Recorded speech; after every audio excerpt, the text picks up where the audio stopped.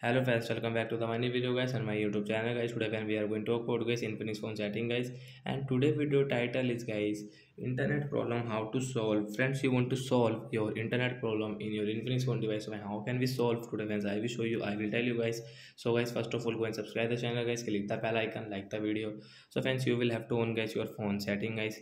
after on phone setting guys, scroll it and friends click on guys your phone system setting guys click on the phone system setting guys tap here The reset option setting guys tap here and guys click on the reset setting guys